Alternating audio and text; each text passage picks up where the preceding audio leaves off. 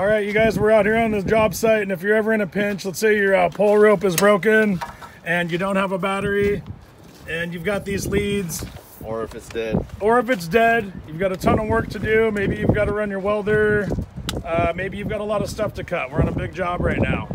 Um, but we're going to show you a way to uh, get you out of a bad situation really quick. And what you need is a portable battery off of one of your power tools.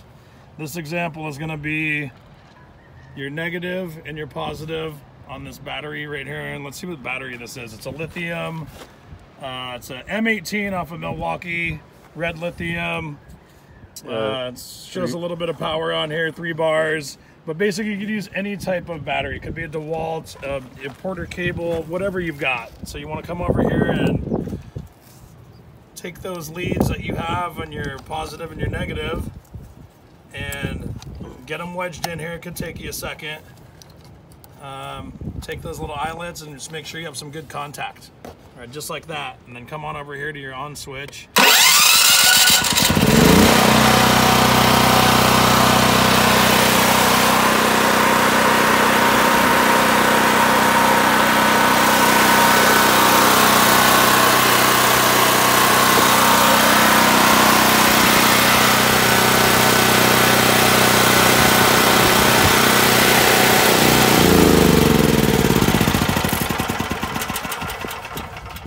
And there you have it. Problem solved. You guys like that video? Make sure to subscribe. We always have more tips, nice tricks on the job site. Make sure you can get something done and solve all those problems. All right, thanks. We'll see you on the next one.